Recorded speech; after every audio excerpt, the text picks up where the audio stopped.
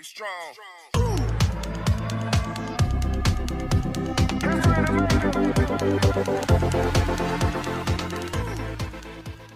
നമസ്കാരം. ഞാൻ doctor Nisha Estharan. Nisha's education ഹബിന്റെ പുതിയൊരു എപ്പിസോഡിലേക്ക് ഏവർക്കും സ്വാഗതം.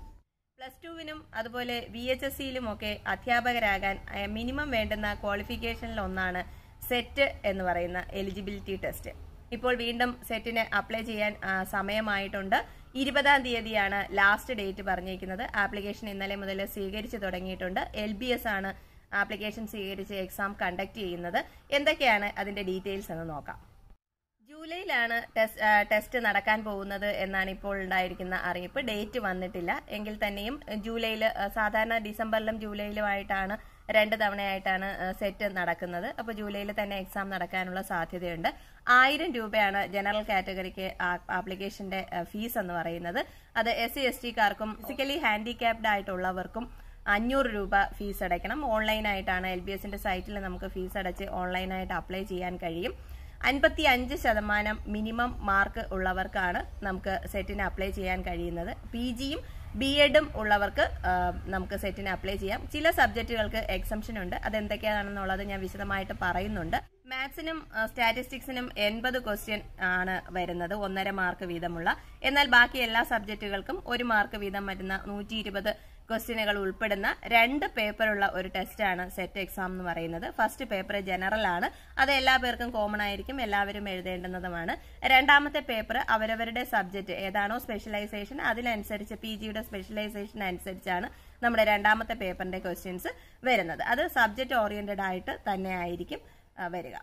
ഇനി ക്വാളിഫൈ ചെയ്യാനായിട്ട് മിനിമം വേണ്ടുന്ന മാർക്കിൽ വ്യത്യാസമുണ്ട്. ജനറൽ കാറ്റഗറിക്കാർക്ക് ഓരോ പേപ്പറിനും പേപ്പർ വണ്ണിനും ടൂവിനും മിനിമം നാൽപ്പത് ശതമാനം മാർക്കും കമ്പൈൻഡ് ആയിട്ട് ടോട്ടൽ നോക്കുമ്പോൾ നാൽപ്പത്തി എട്ട് ശതമാനം മാർക്ക് നേടിയാൽ മാത്രമേ ക്വാളിഫൈ ചെയ്യാൻ കഴിയൂ. ഇത് എസ് സി എസ് ടി കാറ്റഗറിയിലേക്ക് വരുമ്പോൾ മിനിമം പേപ്പറിന് വേണ്ടുന്ന മിനിമം മുപ്പത്തഞ്ച് ശതമാനവും അതുപോലെ പിന്നോക്കക്കാർക്കും മിനിമം പേപ്പർ മിനിമം എന്ന് പറയുന്നത് മുപ്പത്തഞ്ച് ശതമാനമായിട്ട് നിജപ്പെടുത്തിയിട്ടുണ്ട്. എന്നാൽ ഒ ബി സി കാറ്റഗറിയിൽ അതായത് പിന്നോക്ക വിഭാഗത്തിൽ വരുന്നവർക്ക് ടോട്ടൽ വരുന്നത് നാൽപ്പത്തിയഞ്ച് ശതമാനം വേണം. എന്നാൽ എസ് സി എസ് ടിക്കാർക്ക് ടോട്ടൽ നാൽപ്പത് ശതമാനവും ക്വാളിഫൈ ചെയ്തു കഴിഞ്ഞാൽ നമുക്ക് സെറ്റ് കിട്ടുന്നതാണ്. അപ്ലൈ ചെയ്യാനുള്ള മാർക്കിൽ എസ് സി എസ് ടി കാറ്റഗറിക്കാർക്കും അതുപോലെ ഭിന്നശേഷിക്കാർക്കും ഒക്കെ അഞ്ച് ശതമാനത്തിന്റെ മാർക്ക് ഇളവുണ്ട്. അൻപത് ശതമാനം മിനിമം വേണം എന്നുള്ളത് അവർക്ക് നാൽപ്പത്തിയഞ്ച് ശതമാനം മാർക്ക് പി ജിക്ക് മിനിമം ഉണ്ടെങ്കിൽ അപ്ലൈ ചെയ്യാവുന്നതാണ്. അത് ഭിന്നശേഷിക്കാർക്കും എസ് സി എസ് ടി കാറ്റഗറിക്കുമായിട്ട് നിജപ്പെടുത്തിയിട്ടുണ്ട്. അറബിക്ക് ഹിന്ദി ഉറുദു ഈ ഭാഷകളിൽ ആണ് നിങ്ങൾ പി ജി എടുത്തിട്ടുള്ളതെങ്കിൽ നിങ്ങൾക്ക് ഡി എൽ എഡ് അതായത് ടി ടി സിയോ ഡി എൽ എഡോ ഒക്കെ ക്വാളിഫൈ ചെയ്തിട്ടുണ്ടെങ്കിലും നിങ്ങൾക്ക് ബി എഡ് ഇല്ലാതെ തന്നെ സെറ്റ് എഴുതാവുന്നതാണ്. എൽ ടി ടി സി ആണ് language teacher T T C ആണെങ്കിൽ തന്നെയും നിങ്ങൾക്ക് എഴുതാം. ബി എഡ് വേണ്ടെന്ന ആവശ്യമില്ല. അറബിക്ക് അതുപോലെ തന്നെ ഹിന്ദി ഉറുദു ഈ ലാംഗ്വേജുകൾക്കാണ് ആ ഒരു എക്സംഷൻ ഉള്ളത്. ഇനി ഏതൊക്കെ സബ്ജക്റ്റുകൾക്കാണ് ബി എഡ് ഇല്ലാതെ നമുക്ക് അപ്ലൈ ചെയ്യാൻ പറ്റുക എന്നുള്ളതാണ്. ആ ലിസ്റ്റ് ഒന്ന് കൃത്യമായിട്ട് എല്ലാവരും കേൾക്കുക. കാരണം കഴിഞ്ഞ തവണയും സെറ്റിന്റെ വീഡിയോ വന്നു കഴിഞ്ഞപ്പോൾ ഒരുപാട് പേര് കൺഫ്യൂസിങ് ആയിട്ട് തന്നെ കമന്റുകൾ ചോദിച്ചിരുന്നു. അവസാനം എനിക്ക് തന്നെ കൺഫ്യൂസിങ് ആയി. ഏത് സബ്ജക്റ്റിന് എഴുതാൻ പറ്റും ഇല്ല എന്നുള്ളത്. അതുകൊണ്ട് ഇനി പറയുന്ന ലിസ്റ്റ് കൃത്യമായിട്ട് തന്നെ നിങ്ങൾ ഓർക്കുക. ഏറ്റവും പ്രധാനമായിട്ട് പറഞ്ഞേക്കുന്ന സബ്ജക്റ്റുകൾ എന്ന് എന്നുള്ളത് anthropology commerce Gandhian studies geology അതുപോലെ home science journalism music psychology philosophy social work sociology statistics ഇത്രയും വിഷയങ്ങൾക്ക് ബി എഡ് ഇല്ലാതെ തന്നെ നമുക്ക് സെറ്റ് എഴുതാൻ പറ്റും. ഇതിൽ പ്രധാനമായിട്ടും സംശയങ്ങൾ എപ്പോഴും ചോദിക്കുന്നത് കൊമേഴ്സുകാരാണ് കൊമേഴ്സുകാർക്ക് ബി എഡ് ഇല്ലാതെ തന്നെ സെറ്റ് എഴുതാം എന്നാണ് റൂളിൽ പറഞ്ഞിട്ടുള്ളത്. ഇനി നമുക്ക് പ്രധാനമായിട്ടും നമ്മൾ അറിയേണ്ടതെന്ന് പറയുന്നത് ആർക്കൊക്കെ അപ്ലൈ ചെയ്യാൻ പറ്റും എന്നുള്ളതാണ്. ഇപ്പോൾ ഫൈനൽ ബി എഡ് എക്സാമിന് തയ്യാറെടുക്കുന്നവർ അതായത് ഇപ്പോൾ ഫോർത്ത് സെമ്മിലേക്ക് ആയിക്കൊണ്ടിരിക്കുന്നവർ അതുപോലെ പി ജി ഫൈനൽ എക്സാമിന് തയ്യാറെടുത്തുകൊണ്ടിരിക്കുന്നവർ. ഇവർക്ക് രണ്ട് കാറ്റഗറിക്കാർക്കും എഴുതാൻ പറ്റും. ബി എഡ് ഉള്ള പി ജിക്കാരും അതുപോലെ പി ജി ഉള്ള ബി എഡുകാർക്കും അവരെ ഒരു വർഷത്തിനുള്ളിൽ ഒരു വർഷത്തെ സമയമേ ഉള്ളൂ. സാധാരണ നമുക്ക് രണ്ട് വർഷത്തെ ഇളവ് കിട്ടാറുണ്ട് പല ഇതുപോലുള്ള എലിജിബിലിറ്റി ടെസ്റ്റുകൾക്കും പക്ഷേ എന്നാൽ ഓർക്കുക സെറ്റിന് ഒരു വർഷത്തിനുള്ളിൽ നമ്മൾ ക്വാളിഫൈ ചെയ്ത് സർട്ടിഫിക്കറ്റ് അതിനുള്ളിൽ പ്രൊഡ്യൂസ് ചെയ്താൽ മാത്രമേ നമുക്ക് സെറ്റിന്റെ സർട്ടിഫിക്കറ്റ് ഇഷ്യൂ ചെയ്യത്തുള്ളൂ. അതുകൊണ്ട് ഫൈനൽ ഇയർ എക്സാം എഴുതാൻ തയ്യാറെടുക്കുന്നവർ മാത്രം അപ്ലൈ ചെയ്യുക. വളരെ എളുപ്പത്തിൽ തന്നെ നമുക്ക് സെറ്റ് നേടിയെടുക്കാൻ കഴിയുന്ന ഒരു സാഹചര്യം എന്ന് പറയുന്നത് നമ്മൾ പഠിച്ചുകൊണ്ടിരിക്കുമ്പോഴാണ്.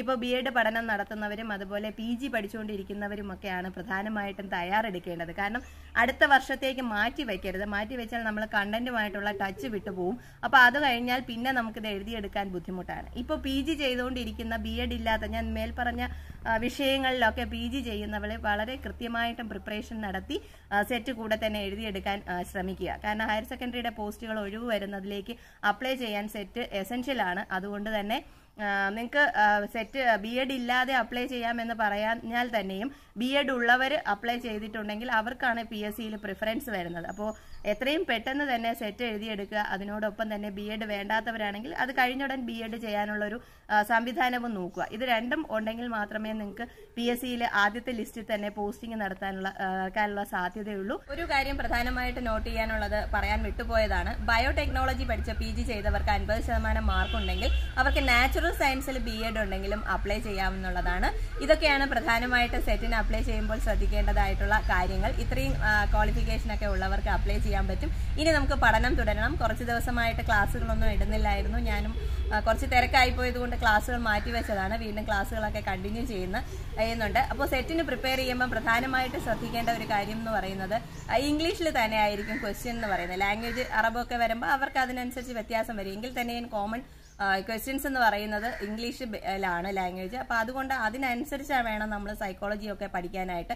പലപ്പോഴും നമ്മൾ മലയാളം ടേംസുമായിട്ടൊക്കെ കൺഫ്യൂസ്ഡ് ആയിരിക്കും. പലരും ഇപ്പോൾ എച്ച് എസ് സിക്ക് വേണ്ടിയിട്ടും അതുപോലെ തന്നെ കെ ടെറ്റിനൊക്കെ വേണ്ടിയിട്ടുള്ള കോഴ്സുകൾ അല്ലെങ്കിൽ ആ ഒരു ടെക്സ്റ്റ് ബുക്കൊക്കെ ഫോളോ ചെയ്ത് പഠിച്ചു വരുന്നവർക്ക് സെറ്റിന് വരുമ്പോൾ കുറച്ച് ബുദ്ധിമുട്ട് ഫീൽ ചെയ്യാനുള്ള ഒരു സാധ്യതയുണ്ട്. അതുകൊണ്ട് കൃത്യമായിട്ട് തന്നെ വിശദമായി ഇംഗ്ലീഷ് ടെക്സ്റ്റ് ബുക്കുകളും അതുപോലെ ഇംഗ്ലീഷ് ഇംഗ്ലീഷിലുള്ള നോട്ട്സും ഒക്കെ പ്രിപ്പയർ ചെയ്ത് വേണം പഠനം തുടരാനാണ്. ഇംഗ്ലീഷിൽ വേണം പഠനം തുടരാനായിട്ട്. നിങ്ങ- നിങ്ങളോടൊപ്പം എല്ലാ കാര്യത്തിനും നിഷാസ് എഡ്യൂക്കേഷൻ ഹബ്ബ് കൂടെയുണ്ട്. ഏവർക്കും നന്ദി.